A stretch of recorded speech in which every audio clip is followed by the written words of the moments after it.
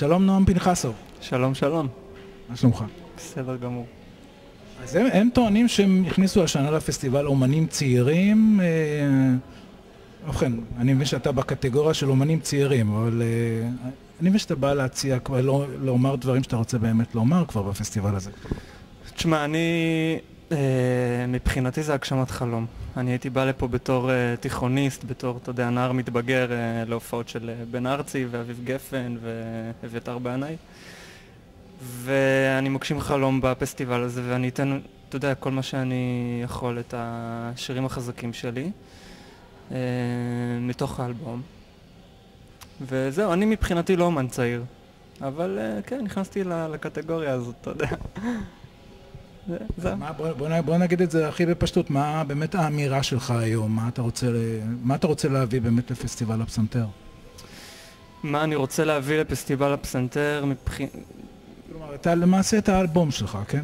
כן, אני, אני אעשה שירים מתוך האלבום שלי שיוצא ממש בסמוך להופעה בפסטיבל, אה, וגם שירים מהאלבום השני שכבר התחלתי להקליט.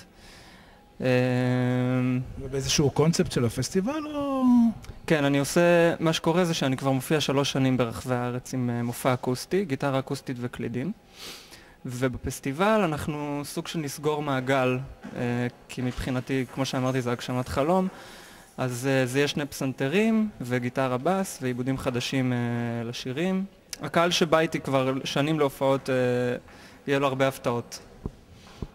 איך זה קורה באמת אה, כשאתה רוצה להופיע בפסטיבל כזה? בדרך כלל הולכים על, על כוכבים, על, על מוכרים. איך אתה מגיע לפסטיבל הזה? תשמע, אני, כשאני מחליט שאני רוצה משהו, זה קורה.